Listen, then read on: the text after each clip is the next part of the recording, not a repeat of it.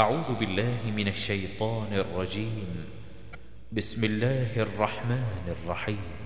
أخبرنا محمد بن إسماعيل وإبراهيم بن الحسن قالا حدثنا حجاج قال قال ابن جريج أخبرني نافع عن عبد الله بن عمر أنه كان يقول كان المسلمون حين قدموا المدينة يجتمعون فيتحينون الصلاة وليس ينادي بها أحد. فتكلموا يوما في ذلك فقال بعضهم اتخذوا ناقوسا مثل ناقوس النصارى. وقال بعضهم بل قرنا مثل قرن اليهود. فقال عمر رضي الله عنه أولا تبعثون رجلا ينادي بالصلاة؟ فقال رسول الله صلى الله عليه وسلم يا بلال قم فنادي بالصلاة. أخبرنا قتيبة بن سعيد قال حدثنا عبد الوهاب عن أيوب عن أبي قلابة عن أنس قال إن رسول الله صلى الله عليه وسلم أمر بلالا أن يشفع الأذان وأن يوتر الإقامة. أخبرنا عمرو بن علي قال حدثنا يحيى قال حدثنا شعبة قال حدثني أبو جعفر عن أبي المثنى عن ابن عمر قال كان الأذان على عهد رسول الله صلى الله عليه وسلم مثنى مثنى والإقامة مرة مرة إلا أنك تقول قد قامت الصلاة قد قامت الصلاة. أخبرنا بشر بن معاذ قال حدثني إبراهيم وهو ابن عبد العزيز بن عبد الملك بن أبي محذورة قال حدثني أبي عبد العزيز وجدي عبد الملك عن أبي محذورة أن النبي صلى الله عليه وسلم أقعده فألقى عليه الأذان حرفا حرفا. قال إبراهيم هو مثل أذاننا هذا. قلت له أعد عليه. قال الله أكبر الله أكبر. أشهد أن لا إله إلا الله. مرتين. أشهد أن محمدا رسول الله. مرتين. ثم قال بصوت دون ذلك الصوت يسمع من حوله. أشهد أن لا إله إلا الله. مرتين. أشهد أن محمدا رسول الله. مرتين. حي على الصلاة. مرتين. حي على الفلاح. مرتين. الله أكبر الله أكبر. لا إله إلا الله. أخبرنا سويد بن نصر قال أنبأنا عبد الله عن همام بن يحيى عن عامر بن عبد الواحد حدثنا مكحول عن عبد الله بن محيريز عن أبي محذورة أن رسول الله صلى الله عليه وسلم قال الأذان تسع عشرة كلمة والإقامة سبع عشرة كلمة ثم عدها أبو محذورة تسع عشرة كلمة وسبع عشرة. أخبرنا إسحاق بن إبراهيم قال أنبأنا معاذ بن هشام قال حدثني أبي عن عامر الأحول عن مكحول عن عبد الله بن محيريز عن أبي محذورة قال علمني رسول الله صلى الله عليه وسلم الأذان فقال الله أكبر الله أكبر الله أكبر الله أكبر أشهد أن لا إله إلا الله أشهد أن لا إله إلا الله أشهد أن محمدا رسول الله. أشهد أن محمدا رسول الله. ثم يعود فيقول أشهد أن لا إله إلا الله. أشهد أن لا إله إلا الله. أشهد أن محمدا رسول الله. أشهد أن محمدا رسول الله. حي على الصلاة. حي على الصلاة. حي على الفلاح حي على الفلاح. الله أكبر الله أكبر. لا إله إلا الله.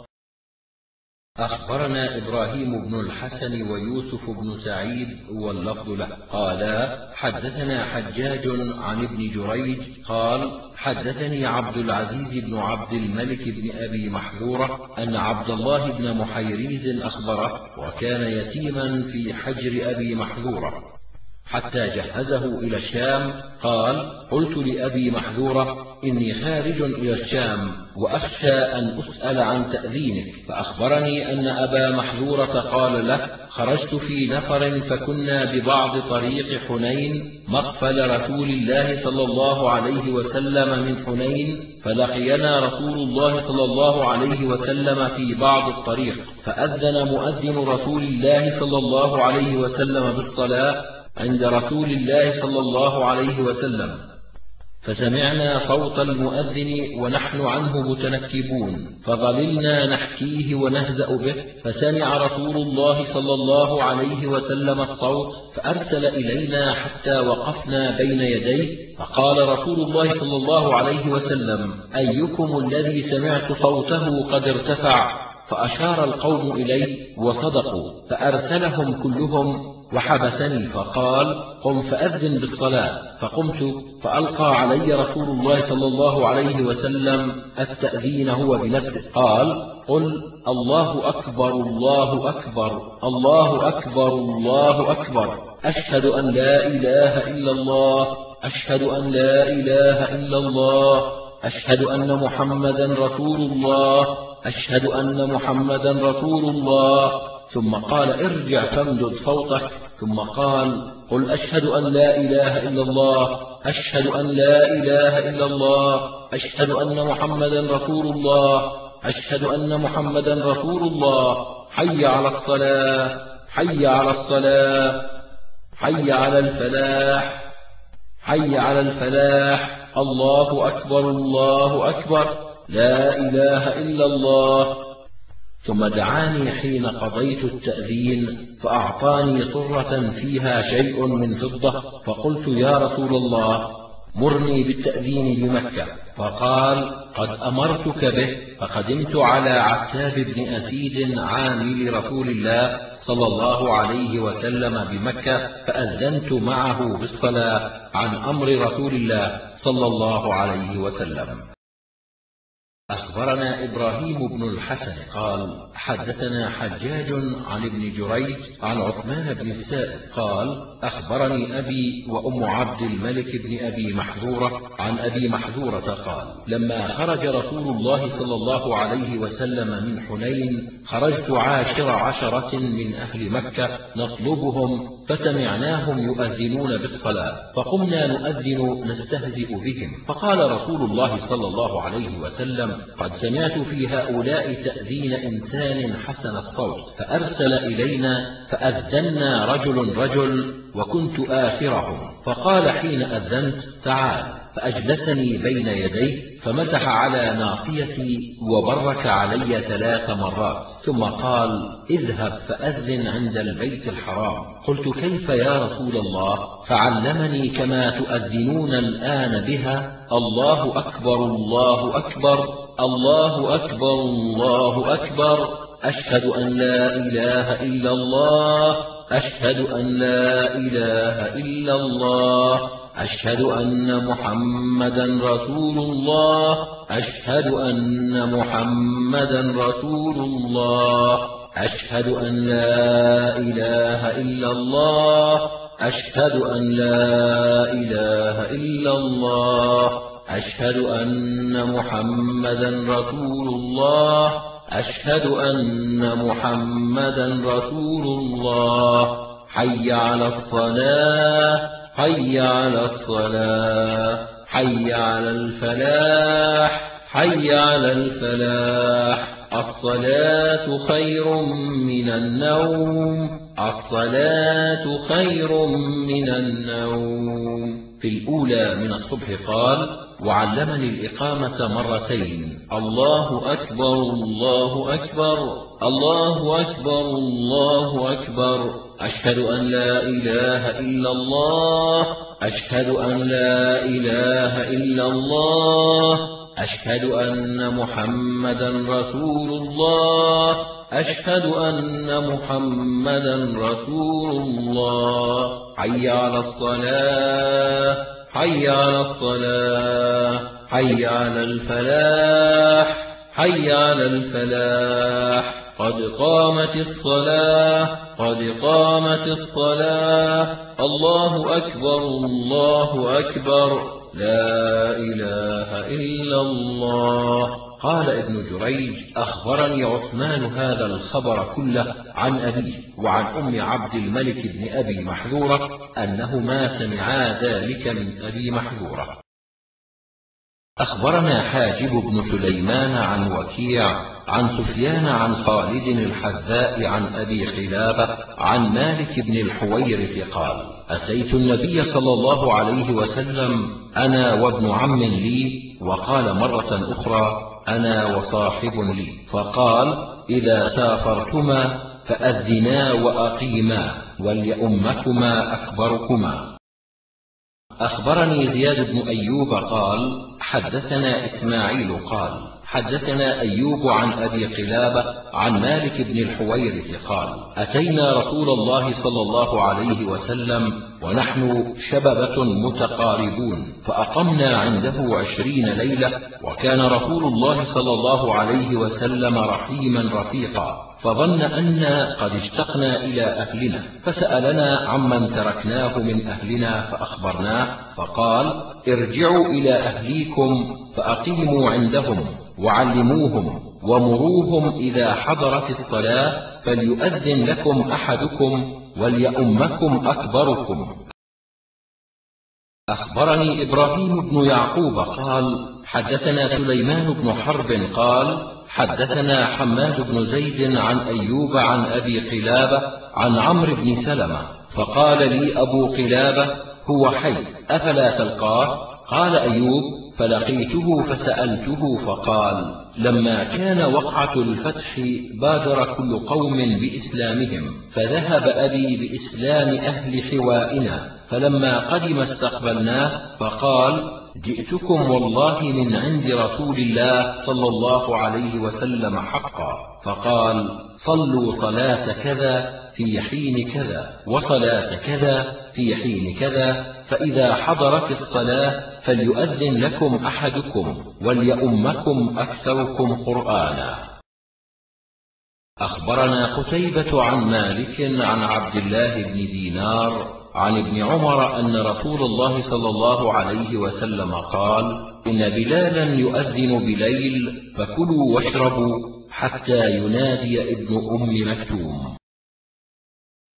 أخبرنا قتيبة قال حدثنا الليث عن ابن شهاب عن سالم عن أبيه أن النبي صلى الله عليه وسلم قال إن بلالا يؤذن بليل فكلوا واشربوا حتى تسمعوا تأذين ابن أم مكتوم. أخبرنا يعقوب بن إبراهيم قال حدثنا حفص عن عبيد الله عن القاسم عن عائشة قالت قال رسول الله صلى الله عليه وسلم إذا أذن بلال فكلوا واشربوا حتى يؤذن ابن أم مكتوم. قالت ولم يكن بينهما إلا أن ينزل هذا ويصعد هذا. أخبرنا يعقوب بن إبراهيم عن هشيم قال أنبأنا منصور عن خبيب بن عبد الرحمن عن عمته أنيسة قالت قال رسول الله صلى الله عليه وسلم إذا أذن ابن أم مكتوم فكلوا واشربوا وإذا أذن بلال فلا تأكلوا ولا تشربوا. أخبرنا إسحاق بن إبراهيم قال أنبأنا المعتمر بن سليمان عن أبيه عن أبي عثمان عن ابن مسعود عن النبي صلى الله عليه وسلم قال إن بلالا يؤذن بليل ليوقظ نائمكم وليرجع قائمكم وليس أن يقول هكذا يعني في الصبح. أخبرنا إسحاق بن إبراهيم قال حدثنا يزيد قال حدثنا حميد عن أنس أن سائلا سأل رسول الله صلى الله عليه وسلم عن وقت الصبح فأمر رسول الله صلى الله عليه وسلم بلالا فأذن حين طلع الفجر فلما كان من الغد أخر الفجر حتى أسفر ثم أمره فأقام فصلى ثم قال هذا وقت الصلاة. أخبرنا محمود بن غيلان قال حدثنا وكيع قال حدثنا سفيان عن عون بن أبي جحيفة عن أبيه قال أتيت النبي صلى الله عليه وسلم فخرج بلال فأذن فجعل يقول في أذانه هكذا ينحرف يمينا وشمالا. أخبرنا محمد بن سلمة قال أنبأنا ابن القاسم عن مالك قال حدثني عبد الرحمن بن عبد الله بن عبد الرحمن بن أبي صعصعة الأنصاري المازني عن أبيه أنه أخبره أن أبا سعيد الخدري قال له إني أراك تحب الغنم والبادية فإذا كنت في غنمك أو باديتك فأذنت بالصلاة فارفع صوتك فإنه لا يسمع مدى صوت المؤذن جن ولا إنس ولا شيء إلا شهد له يوم القيامة. قال أبو سعيد سمعته من رسول الله صلى الله عليه وسلم. أخبرنا إسماعيل بن مسعود ومحمد بن عبد الأعلى. قالا حدثنا يزيد يعني ابن زريع قال حدثنا شعبة عن موسى بن أبي عثمان عن أبي يحيى عن أبي هريرة سمعه من فم رسول الله صلى الله عليه وسلم يقول المؤذن يغفر له بمد صوته ويشهد له كل رطب ويابس. أخبرنا محمد بن المثنى قال حدثنا معاذ بن هشام قال حدثني أبي عن قتادة عن أبي إسحاق الكوفي عن البراء بن عازب أن نبي الله صلى الله عليه وسلم قال إن الله وملائكته يصلون على الصف المقدم والمؤذن يغفر له بمد صوته ويصدقه من سمعه من رطب ويابس وله مثل أجر من صلى معه. أخبرنا سويد بن نصر قال أنبأنا عبد الله عن سفيان عن أبي جعفر عن أبي سلمان عن أبي محذورة قال كنت أؤذن لرسول الله صلى الله عليه وسلم وكنت أقول في أذان الفجر الأول حي على الفلاح الصلاة خير من النوم الصلاة خير من النوم الله أكبر الله أكبر لا إله إلا الله. أخبرنا عمرو بن علي قال حدثنا يحيى وعبد الرحمن قالا حدثنا سفيان بهذا الإسناد نحوه قال أبو عبد الرحمن وليس بأبي جعفر الفراء أخبرنا محمد بن معدان بن عيسى قال حدثنا الحسن بن أعين قال حدثنا زهير قال حدثنا الأعمش عن إبراهيم عن الأسود عن بلال قال آخر الأذان الله أكبر الله أكبر لا إله إلا الله. أخبرنا سويد قال أنبأنا عبد الله عن سفيان عن منصور عن إبراهيم عن الأسود قال كان آخر أذان بلال الله أكبر الله أكبر لا إله إلا الله. أخبرنا سويد قال أنبأنا عبد الله عن سفيان عن الأعمش عن إبراهيم عن الأسود مثل ذلك. أخبرنا سويد قال حدثنا عبد الله عن يونس بن أبي إسحاق عن محارب بن ديثار قال حدثني الأسود بن يزيد عن أبي محذورة أن آخر الأذان لا إله إلا الله. أخبرنا قتيبة قال حدثنا سفيان عن عمرو بن دينار عن عمرو بن أوس يقول أنبأنا رجل من ثقيف أنه سمع منادي النبي صلى الله عليه وسلم يعني في ليلة مطيرة في السفر يقول حي على الصلاة حي على الفلاح صلوا في رحالكم.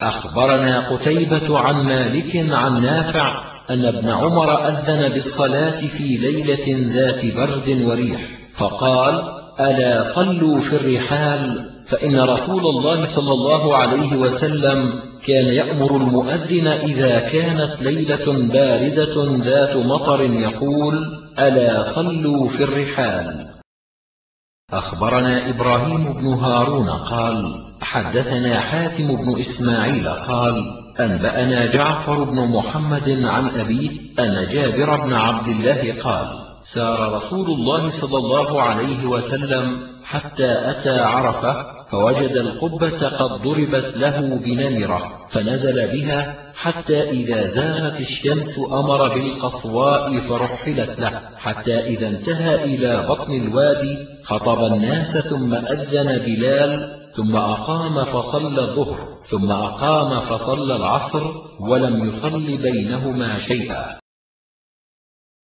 أخبرني إبراهيم بن هارون قال حدثنا حاتم بن إسماعيل قال حدثنا جعفر بن محمد عن أبيه أن جابر بن عبد الله قال دفع رسول الله صلى الله عليه وسلم حتى انتهى إلى المزدلفة فصلى بها المغرب والعشاء بأذان وإقامتين ولم يصل بينهما شيئا.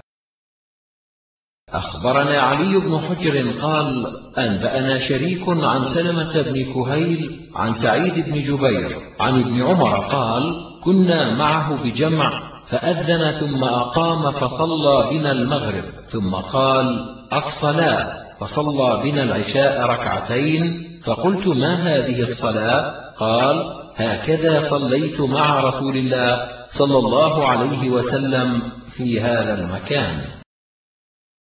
أخبرنا محمد بن المثنى قال حدثنا عبد الرحمن قال حدثنا شعبة عن الحكم وسلمة بن كهيل عن سعيد بن جبير أنه صلى المغرب والعشاء بجمع بإقامة واحدة ثم حدث عن ابن عمر أنه صنع مثل ذلك وحدث ابن عمر أن النبي صلى الله عليه وسلم صنع مثل ذلك.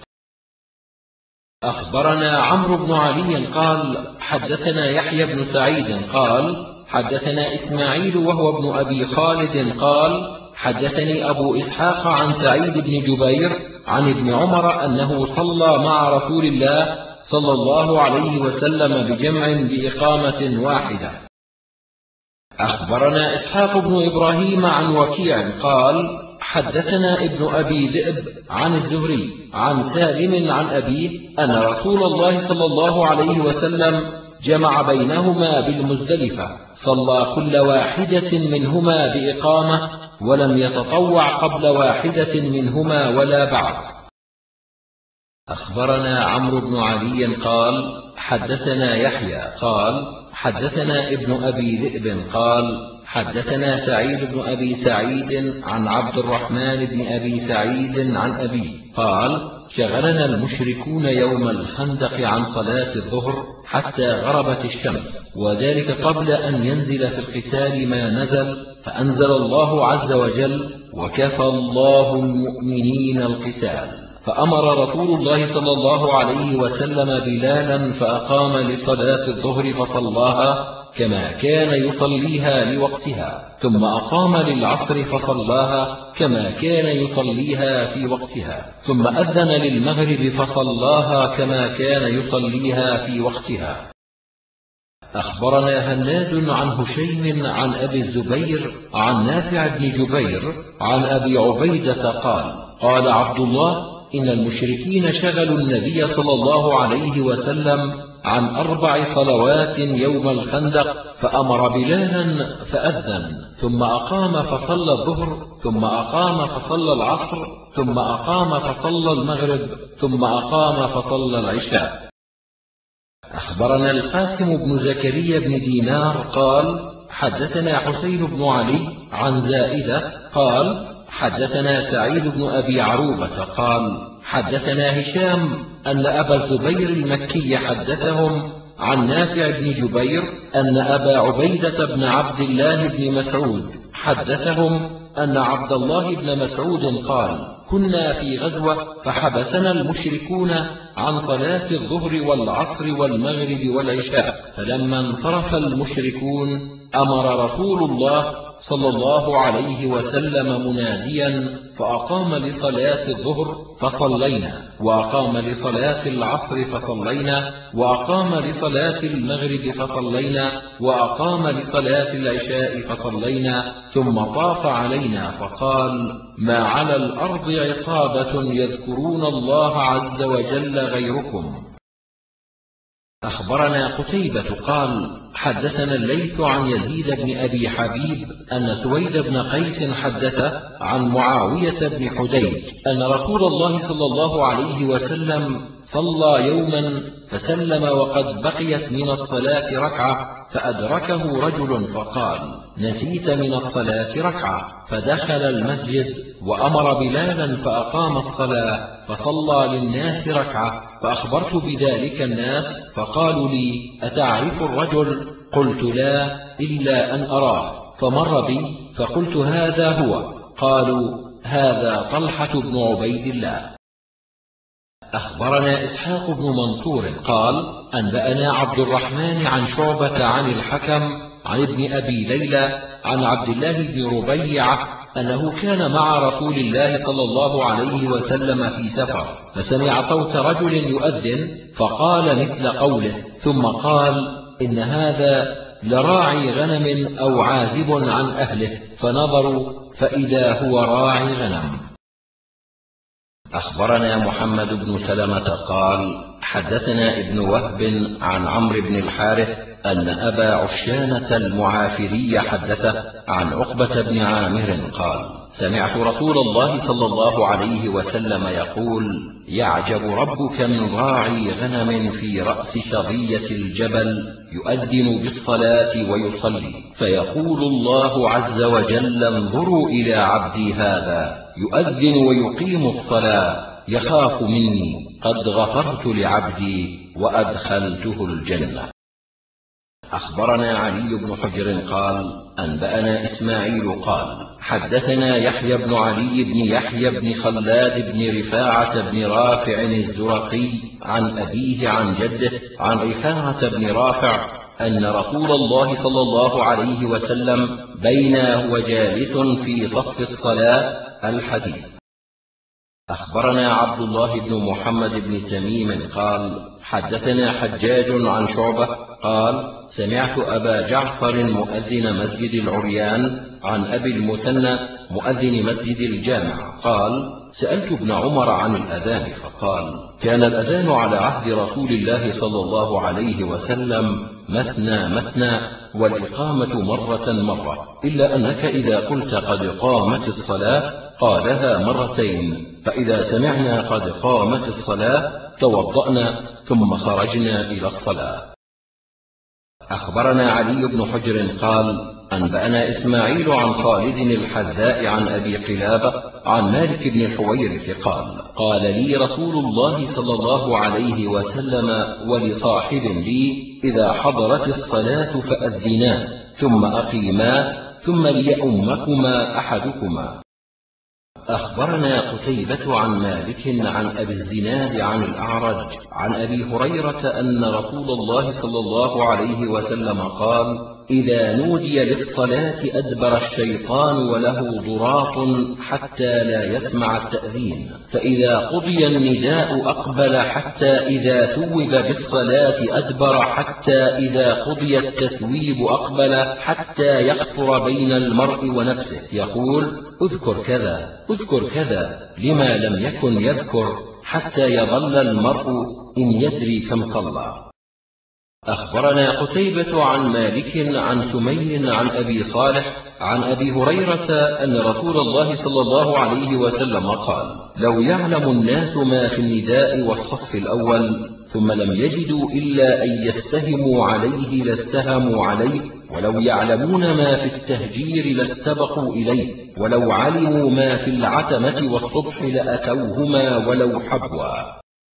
أخبرنا أحمد بن سليمان قال حدثنا عفان قال حدثنا حماد بن سلمة قال حدثنا سعيد الجريري عن أبي العلاء عن مطرف عن عثمان بن أبي العاص قال قلت يا رسول الله اجعلني إمام قومي. فقال أنت إمامهم واقتد بأضعفهم واتخذ مؤذنا لا يأخذ على أذانه أجرا. أخبرنا قتيبة عن مالك عن الزهري عن عطاء بن يزيد عن أبي سعيد الخدري أن رسول الله صلى الله عليه وسلم قال إذا سمعتم النداء فقولوا مثل ما يقول المؤذن. أخبرنا محمد بن سلمة قال حدثنا ابن وهب عن عمرو بن الحارث أن بكير بن الأشج حدثه أن علي بن خالد الزرقي حدثه أن النضر بن سفيان حدثه أنه سمع أبا هريرة يقول كنا مع رسول الله صلى الله عليه وسلم فقام بلال ينادي فلما سكت قال رسول الله صلى الله عليه وسلم من قال مثل هذا يقينا دخل الجنة. أخبرنا سويد بن نصر أنبأنا عبد الله بن المبارك عن مجمع بن يحيى الأنصاري قال كنت جالسا عند أبي أمامة بن سهل بن حنيف فأذن المؤذن فقال الله أكبر الله أكبر. فكبر اثنتين فقال أشهد أن لا إله إلا الله. فتشهد اثنتين فقال أشهد أن محمدا رسول الله. فتشهد اثنتين ثم قال حدثني هكذا معاوية بن أبي سفيان عن قول رسول الله صلى الله عليه وسلم. أخبرنا محمد بن قدامة حدثنا جرير عن مسعر عن مجمع عن أبي أمامة بن سهل قال سمعت معاوية رضي الله عنه يقول سمعت من رسول الله صلى الله عليه وسلم وسمع المؤذن فقال مثل ما قال.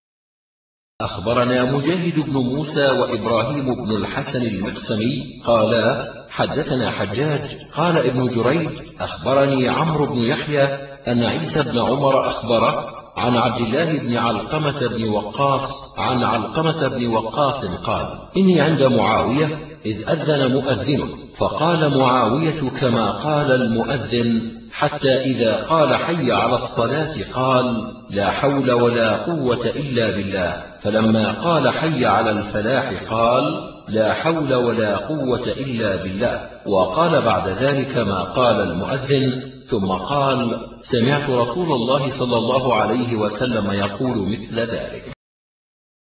أخبرنا سويد قال أنبأنا عبد الله بن حيوة بن شريح أن كعب بن علقمة سمع عبد الرحمن بن جبير مولى نافع بن عمرو القرشي يحدث أنه سمع عبد الله بن عمرو يقول سمعت رسول الله صلى الله عليه وسلم يقول إذا سمعتم المؤذن فقولوا مثل ما يقول وصلوا عليه فإنه من صلى علي صلاة صلى الله عليه عشرا ثم سلوا الله لي الوسيلة فإنها منزلة في الجنة لا تنبغي إلا لعبد من عباد الله أرجو أن أكون أنا هو فمن سأل لي الوسيلة حلت له الشفاعة. أخبرنا قتيبة عن الليث عن الحكيم بن عبد الله عن عامر بن سعد عن سعد بن أبي وقاص عن رسول الله صلى الله عليه وسلم قال من قال حين يسمع المؤذن وأنا أشهد أن لا إله إلا الله وحده لا شريك له وأن محمدا عبده ورسوله رضيت بالله ربا وبمحمد رسولا وبالإسلام دينا غفر له ذنبه. أخبرنا عمرو بن منصور قال حدثنا علي بن عياش قال حدثنا شعيب عن محمد بن المنكدر عن جابر قال قال رسول الله صلى الله عليه وسلم من قال حين يسمع النداء اللهم رب هذه الدعوة التامة والصلاة القائمة آت محمدا الوسيلة والفضيلة وابعثه المقام المحمود الذي وعدته إلا حلت له شفاعتي يوم القيامة. أخبرنا عبيد الله بن سعيد عن يحيى عن كهمس قال حدثنا عبد الله بن بريدة عن عبد الله بن مغفل قال قال رسول الله صلى الله عليه وسلم بين كل أذانين صلاة بين كل أذانين صلاة بين كل أذانين صلاة لمن شاء. أخبرنا إسحاق بن إبراهيم قال أنبأنا أبو عامر حدثنا شعبة عن عمرو بن عامر الأنصاري عن أنس بن مالك قال كان المؤذن إذا أذن قام ناس من أصحاب النبي صلى الله عليه وسلم فيبتدرون السواري يصلون حتى يخرج النبي صلى الله عليه وسلم وهم كذلك ويصلون قبل المغرب ولم يكن بين الأذان والإقامة شيء أخبرنا محمد بن منصور عن سفيان عن عمر بن سعيد عن أشعث بن أبي الشعثاء عن أبيه قال رأيت أبا هريرة ومر رجل في المسجد بعد النداء حتى قطع فقال أبو هريرة أما هذا فقد عصى أبا القاسم صلى الله عليه وسلم. أخبرنا أحمد بن عثمان بن حكيم قال حدثنا جعفر بن عون عن أبي عميس قال أخبرنا أبو صخرة عن أبي الشعثاء قال خرج رجل من المسجد بعدما نودي بالصلاة فقال أبو هريرة أما هذا فقد عصى أبا القاسم صلى الله عليه وسلم.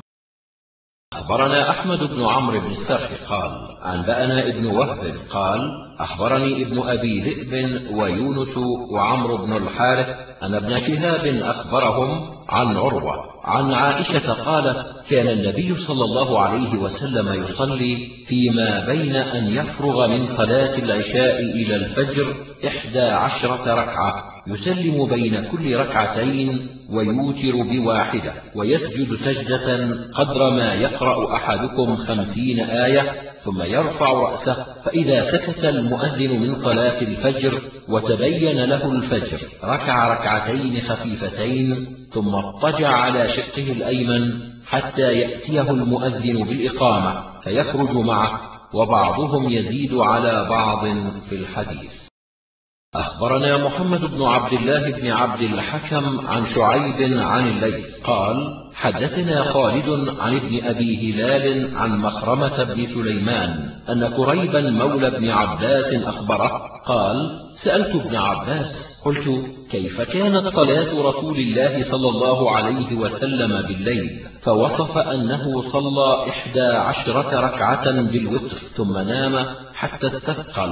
فرأيته ينفخ وأتاه بلال فقال الصلاة يا رسول الله. فقام فصلى ركعتين وصلى بالناس ولم يتوضأ. أخبرنا الحسين بن حريث قال حدثنا الفضل بن موسى عن معمر عن يحيى بن أبي كثير عن عبد الله بن أبي قتادة عن أبيه قال قال رسول الله صلى الله عليه وسلم إذا أقيمت الصلاة فلا تقوموا حتى تروني خرجت.